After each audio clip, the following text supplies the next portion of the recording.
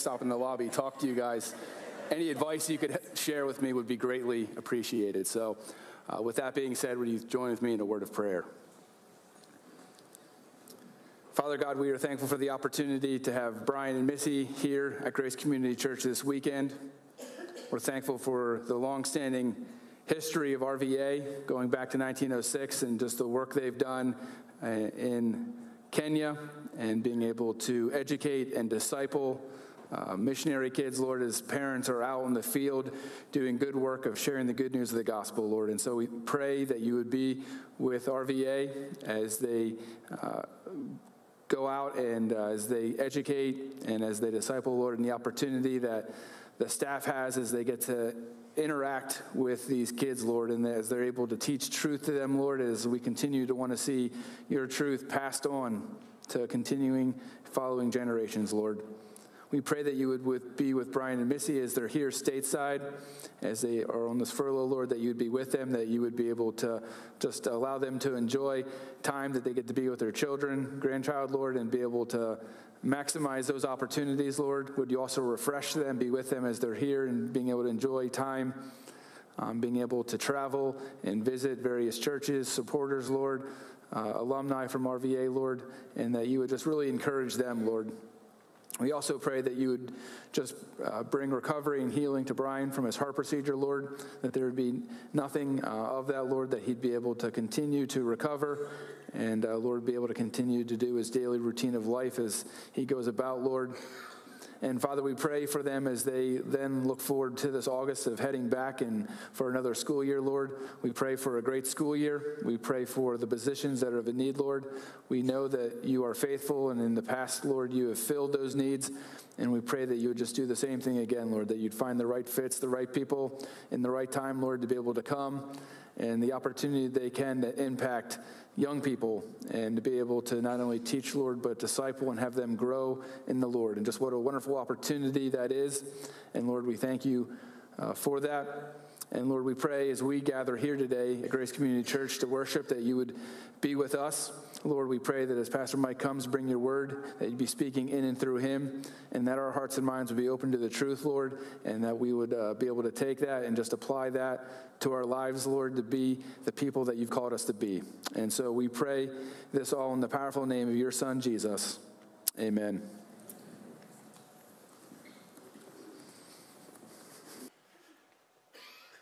I guess when I think about it, we were the parents of a girls' dormitory growing up, so maybe we could go to RVA and get a boys' dormitory and figure out what it's like to have boys in a house as well. That's something that we're just learning now with our grandchildren, and it's been a lot of fun. A lot of fun. I want to ask you a question today Are you a sinner? Are you a sinner? Now, I know I know that that's a deeply personal and maybe even starkly unexpected way to begin a sermon, but I thought you should know where we're going this weekend. I thought I may as well just tell you up front that this is a sermon on sin. And a sermon on sin begs the question what in the world is sin? So, by way of definition, let me help us understand what sin is. First of all, in the New City Catechism, excellent description. Sin is rejecting or ignoring God in the world that He created, rebelling against Him by living without reference to Him, not being or doing what He requires in His law. Secondly, let's go to the Hebrew language, the Old Testament. One of the words that's used for sin, one of the most frequent words for sin in the Old Testament is hate. Hate. That's uh, a word that means missing the goal. The goal, what is that? It is obedience to God. From the time of Adam and Eve until today, the goal in our lives is to be obedient to God. And so when we sin, we fail to meet the goal of obedience to God hate. How about harmatia? Harmatia is the common word for sin in the Greek New Testament, and it literally means missing the mark. So when you think about this, think of a target with a bullseye, and that bullseye is faithful obedience to the will and the ways of God. When we miss the bullseye of, diso- of obedience to God, then we sin. Hamartia. Here's another definition, powerful one. 1 John chapter 3, verse 4. Read it with me. Everyone who sins breaks the law. In fact, sin is lawlessness. And lawlessness happens when we ignore God's law by our own actions or even by neglect. That leads us to this truth in Romans chapter 3 verse 23, for all have sinned and fall short of the glory of God. I don't think ever in my life did I look up the definition of all in the dictionary. But I thought, why not? I'm researching, working on this sermon. You know what all means? Everyone without exception. So then I thought, I wonder what the definition of everyone is. So I looked that up. And the definition of everyone is every person. So here's the truth of God's word every person is a sinner. Every one of us. In fact, that's why the Apostle Paul writes in Romans chapter 3 there is no one righteous, not even one. We are all sinners. Now, you think about that and you ask the question how can that be? It's the reality of our human condition, friends. It is that way because every one of us are born with a sinful nature. We call that theologically original sin. It, sin isn't something that you learn along the way. It isn't something you pick up at the age of six or maybe five when you start school. It's not something you pick up in your neighborhood. It's not something that someone teaches you, although it can be taught. Not a good thing to teach, but it can be taught. Where does sin begin? It begins in our sinful nature. Every one of us, by our conception forward, have a sinful nature. And then we begin to act out that sin in our lives. At the risk of using this illustration too often, the bottom line is no one ever teaches our children how to throw a temper tantrum. Where in the world do they learn that? No one ever teaches our children how to misinterpret the word no. Right? No means but in some places it means yes. I mean, it's unbelievable. No one ever teaches your child to run away from you when you are talking to them and correcting them. Now, many of you know that I was an only child. And in fact, um, I really am appreciative to Bobby Canestra, who texted me this week and let me know that this past week there was a day called National Only Child Day. I had no idea that there was a day like that.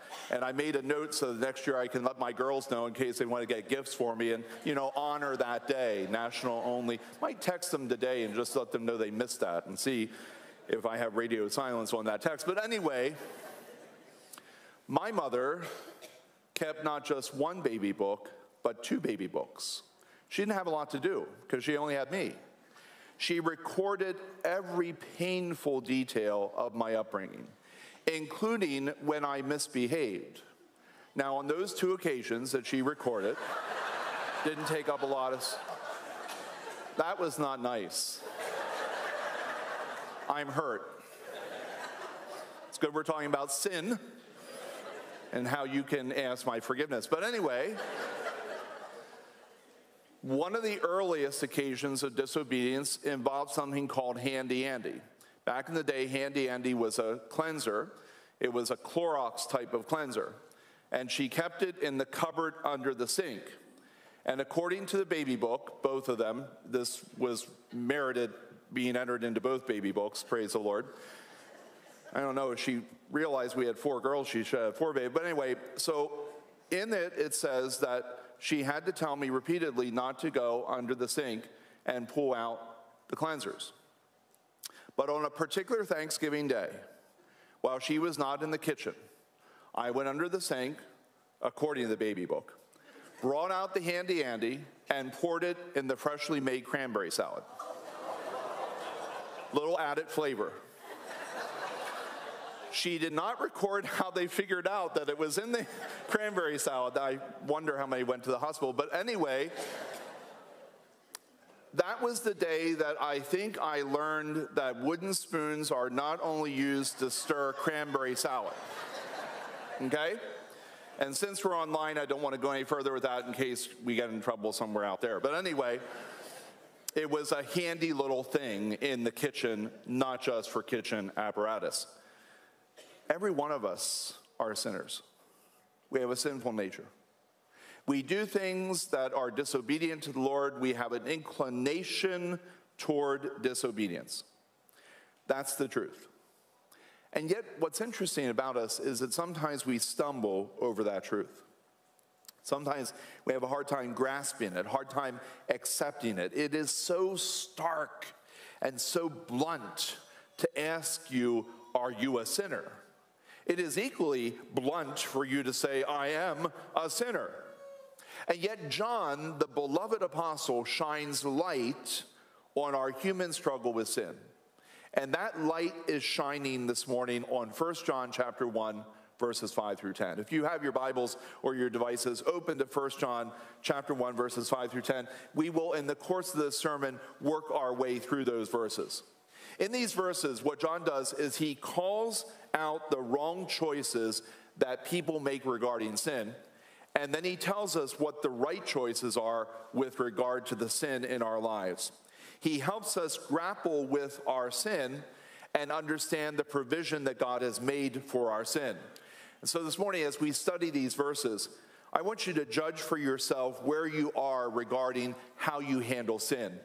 And I want you just to even right now just whisper a quick prayer that the Holy Spirit will speak to you about your life and about your sin and shine his light into your life. Here's what God is teaching us in these verses. When it comes to our sin, we can be less than honest and forthright about our sin.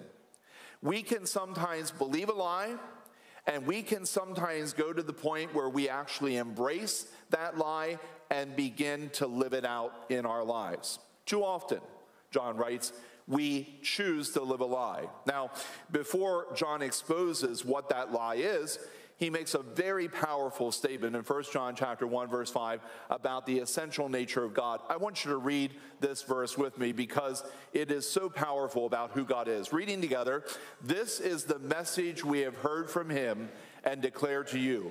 God is light, in him there is no darkness at all. God is light, in him there is no darkness at all.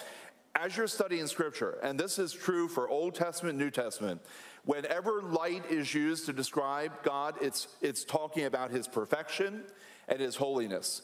He is a perfect and holy God. He is light.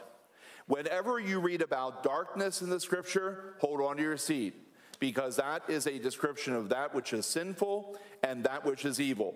To say that God is light is to say that he wants us to personally know him. And so, as light, he has revealed himself to us. He has shined light on who he is so that we can get to know him. And the way we do that is through his son, Jesus Christ. In fact, John writes in John chapter 1, verse 18 of the gospel no one has ever seen God, but God, the only Son, that's Jesus, who is at the Father's side, has made him known. If you want to know who God is, if you want to understand the nature of God, then you look at Jesus. And you look at Jesus in the Word of God, you study his character, you study his actions, and you soon learn who God is because God, who is light, has shined himself, revealed himself to us in the person of Jesus Christ. To say, however, that in him, in God, there is no darkness at all, means that God is never unholy. He is never unrighteous. He is never evil. He is never, ever, ever false. God is perfect in all of his ways. He will always be faithful, kind, and good and gracious because he is a holy God. He is light. That's the truth. Now, here's the lie the lie comes in verse 6. Read it with me. If we claim to have fellowship with him, yet walk in the darkness, we lie and do not live by the truth. And what does that mean to live by the truth? Well, Jesus tells us what that means in John chapter 3, verse 21. Jesus says, But whoever lives by the truth comes into the light, so that it may be seen plainly that what he has done has been done through God. Plain and simple, our walk should match our talk. Our walk should match our talk. Our walk should match our talk. Our walk should match our talk. Our walk should match our talk. sometimes the reason that we don't want to get too close to God is we really don't want Him, now that's ironic, or others, or even ourselves to know the sin that is really resident in us. Can I say to you that God already knows that? Can I say to you that you probably have a good inkling about it too? And so getting close to God can be threatening because we know He is light. And when we get close to Him, He begins to shine His light into our lives, and we begin to see the things that are not in accord with His will and His ways. We begin to see our sin, that we are not living according to God's truth, that we are not obedient to God's will and ways, that we are not willing to come into the light of God so that we can see clearly the sin in our lives. English Bible scholar John Stott's explanation of this is laser focused. This is what Stott writes Relationship with Jesus without morality is an illusion. Just let that sit there for a moment. Relationship with Jesus without morality is an illusion. You cannot have two lives. You cultivate one life here so that everybody at church, maybe everybody in your circle of friends and family know you as a faithful Christian. And that you intentionally, deliberately cultivate another life with another group of people that is fully sinful, completely disobedient to the Lord.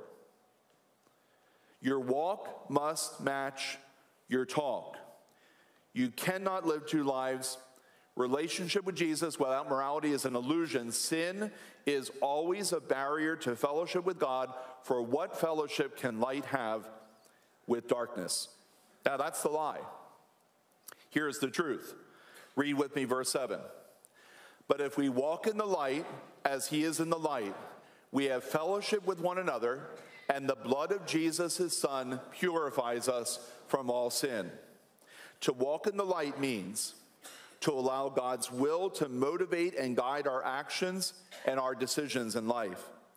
It means to live a life of absolute sincerity and earnest desire to please God in all areas of our life, recognizing that none of us are perfect, and yet the desire of our hearts is not to conceal anything that is sinful. And when we do sin, and friends, we are human, we will sin, as followers of Jesus, when we do sin, we make no effort to conceal that sin. We bring it right into the light of God and we confess it and we ask His forgiveness. That's what it means to walk in the light. To walk in the light means that we have committed our lives to Jesus. We have confessed with our mouth Jesus is Lord, believed in our heart that God raised him from the dead, and we are saved. To walk in the light, look at the verse, look at, at verse 7. To walk in the light as he is in the light we have fellowship with one another. In other words, we love his church and we want to be with other believers in Christ. It's not just a matter of Jesus and me, it's a matter of Jesus, me, and all of my brothers and sisters in Christ. Now, it's become fashionable in some circles today to say, I love Jesus, I just don't love his church. I love Jesus, I want to be with Jesus, I really don't want to be with his church. And, and to, to quote Pastor Will and to put it into my own context, if you were to walk up to me and say, I love you, Pastor Mike, but I really don't care for your wife. I love you, Pastor Mike. I want to be with you. I really don't want to spend any time with Jenny, is offensive to me. Imagine saying to Jesus, I love you, Jesus. I just don't love your church. I love you, Jesus. I just don't love your bride. I just don't love the bride for whom you died on the cross. And Jesus says, Listen, I know my church has warts. I know my church can be hard at times, but you cannot give up on the church.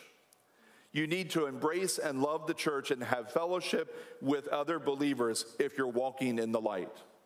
To walk in the light also means that God has forgiven your sin and erased the stain of that sin. Look at the Word of God. He purifies us from all sin. How? By the blood of Jesus Christ. What can wash away my sin?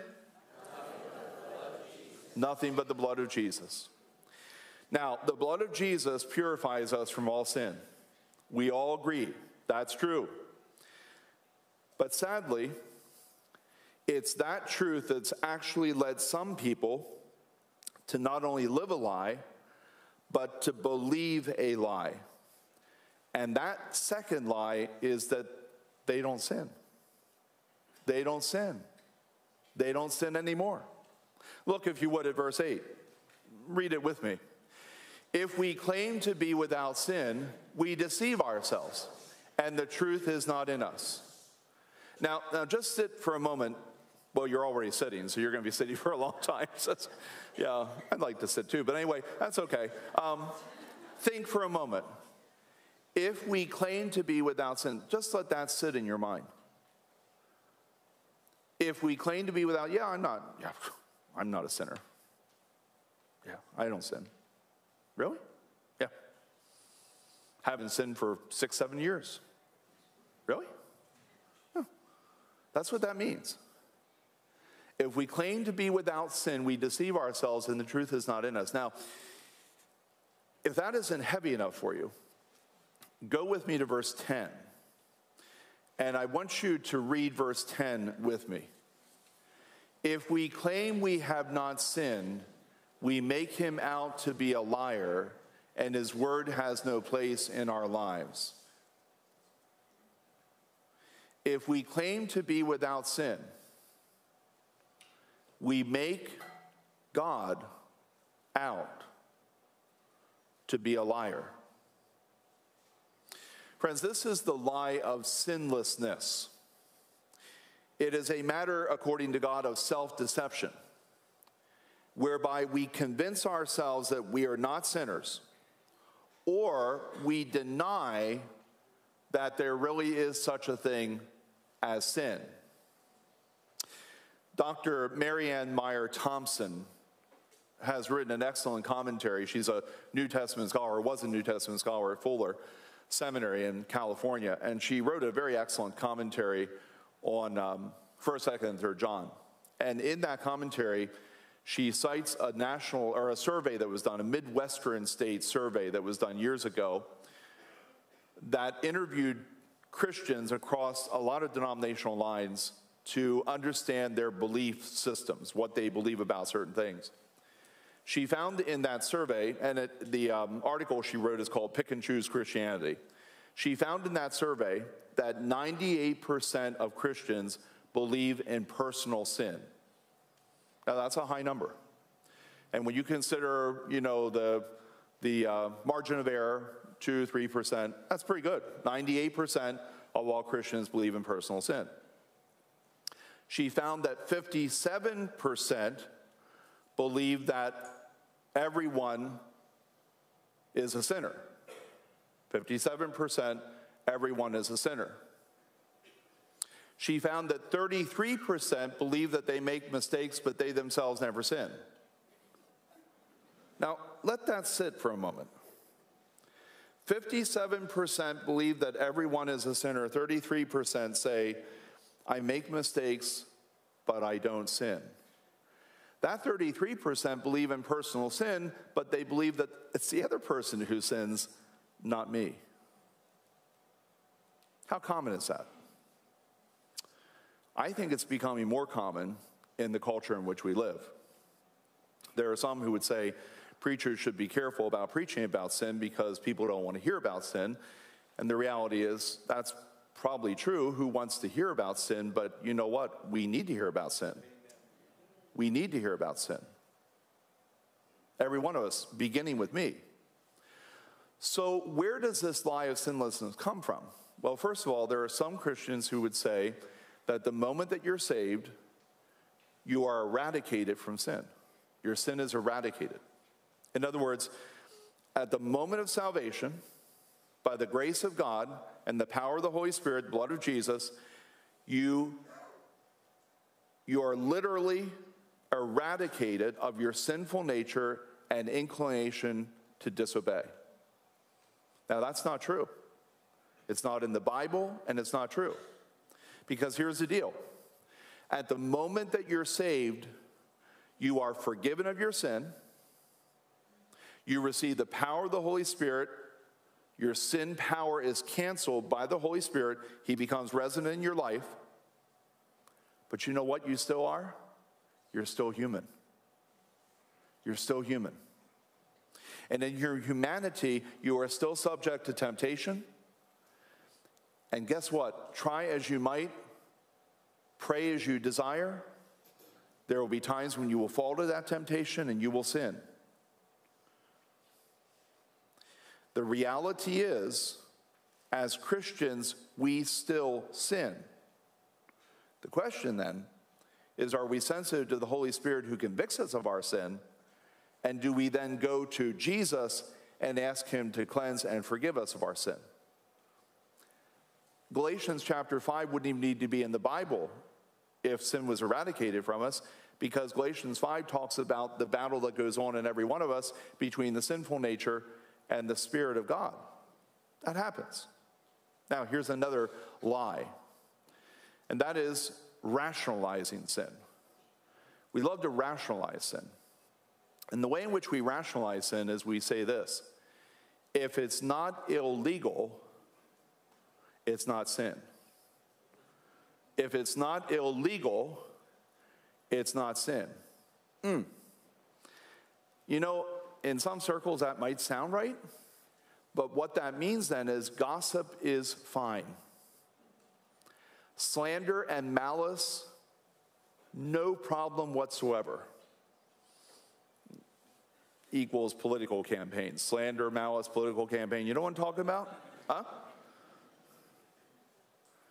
But we know that gossip, slander, and malice, though you will not be arrested in Wesleyan Peter Township or any other municipality for them, are sin. Here's the third one we redefine sin, we grab some new language. I don't sin, I make mistakes. Mistakes aren't sin, they're mistakes. I love how Pastor James Emery White has summarized this redefinition when he writes, We're not just mistakers who need self help, we are sinners who need a Savior. That's the truth of God's Word. I want to say something to you today. Very important. Mishandling sin is dangerous business. Mishandling sin is dangerous business. John tells us that in no uncertain terms, especially in verse 10 of 1 John chapter 1. He writes there that when we believe the lie of sinlessness or when we rationalize or re- redefine sin, we make God out to be a liar. Friends, that is stark, heavy language. We make God out to be a liar. I want you to follow me with this. God calls disobedience sin, right? He does. Secondly, God says every person sins, right? Yep. God says I need to send my son, Jesus Christ, to die for your sins.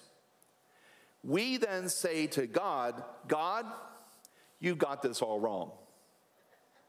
And God says to us, Are you calling me a liar?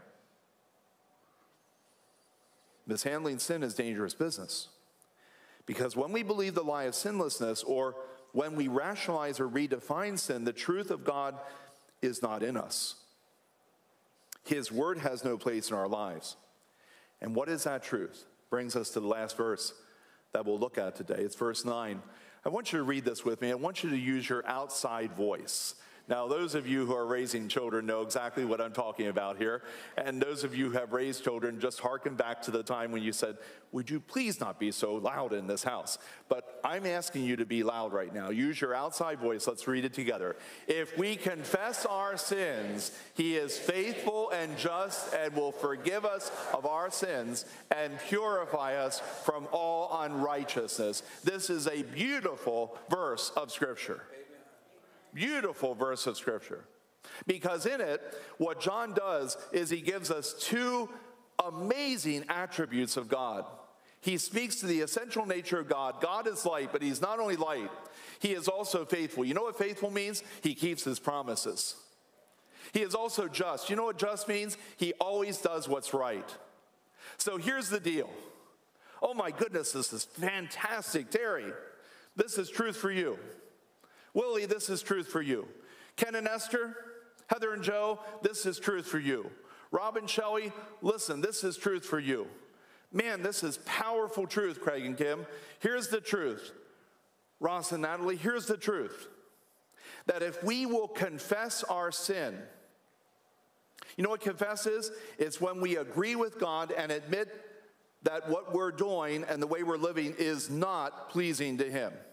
If we will confess our sin and agree with God about our sin, then He will keep His promises and He will do what is right by us and he will forgive us of our sins, and he will purify and cleanse us from all unrighteousness. The amazing truth here is that every one of us, by rights, should have to die for our own sin, but not with God. He so loves us that He sent His only Son, Jesus Christ, to die for us in the cross. It's by the blood of Jesus that we are forgiven of our sin. Amen? And so when we admit and agree with God that we have a sinful nature and that we are behaving in sinful ways, and when as followers of Jesus we listen to the Holy Spirit and we confess the sins that we will commit as followers, listen, there are sins that come out of this mouth. I won't even ask you to raise your hand if you ever committed a sin that came off your tongue. We all have. There are sins that never see the light of day, but they are just as sinful because they are thoughts that no one else may know, but God does. There is sin that is behavior that is displeasing and disobedient to the Lord. And when the Holy Spirit convicts us of those sins in our lives and we agree with God and we confess it, then the Word of God says He is faithful, He is just, and He forgives. He cancels the debt of that sin and he purifies, he washes away the stain. Listen, he takes away every residue of that sin. He cleans out every bit of dirt that it has brought in your life. He takes the guilt, he takes the shame, and he leaves you completely clean. And if there's any residual, it's because you've grabbed some of it thinking that you should have a souvenir to remember just how awful you were. And God says, don't do that. Don't do that. I want to purify you from all unrighteousness. I want to wash you clean. I want to cleanse you so you are whiter than snow. That is an amazing truth. Amen? Use your outside voice again. Let's read it one more time. If we confess our sins, he is faithful and just and will forgive us of our sins and purify us from all unrighteousness. Let me ask you are you a sinner? Are you a sinner? It is absolutely, now hear me. This is probably perhaps the most important thing I'll, I'll, say today apart from the scriptures. And you may wonder then why didn't we just fast forward to that? But here it is. It is absolutely critical to our physical, emotional, relational, and spiritual health to admit that we are sinners as long as we deny it, conceal it, refuse to deal with it, it will weigh on us physically, it will affect us emotionally, it will damage us relationally, and it will burden us spiritually in our relationship with God. Now, I know that because there's this phenomenal testimony in the Bible of a sinner who chose to confess his sin. So I want to read it to you Psalm 32. Oh, what joy for those whose disobedience is forgiven, whose sin is put out of sight. Yes, what joy for those whose record the Lord has cleared of guilt, whose lives are lived in complete honesty. Now, listen to this. When I refused to confess my sin, my body wasted away, my stomach kept count. And I groaned all day long.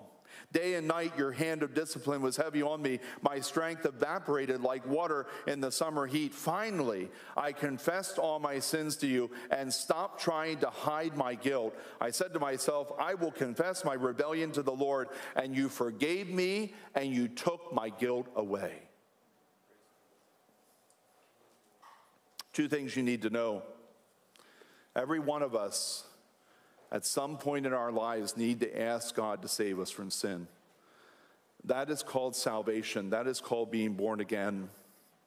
That is when you confess that you are a sinner, that Jesus is the Savior you need, and you confess your sin to Him, and you confess Him as Lord, and you believe that God raised Him from the dead, and your life is transformed. Every one of us need to make that decision.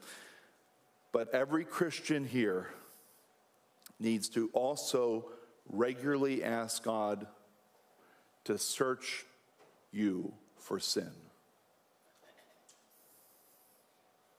Do not ever think yourself to be above or beyond sin. Every day in your devotional time or quiet time with the Lord, ask Him, Search my heart, search my mind. What is the sin in my life that I have not confessed? And there are days when you know very well what that sin is. Do not keep a long account of sin in your life, keep a short account.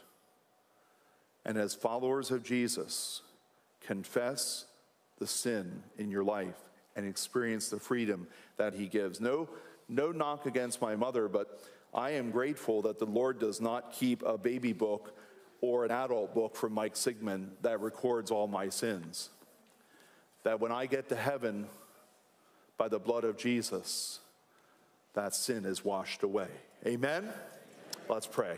Gracious Father, thank you for your word today. Thank you for the power of this teaching that you've given us from 1 John. I want to ask you right now for the next two minutes, sitting where, there where you are, if you're willing, in the quietness of your heart, ask God to search your heart, to find any sin that there may be in your life that you may not be aware of, and ask Him to show it to you because you want to be free of sin today for this day.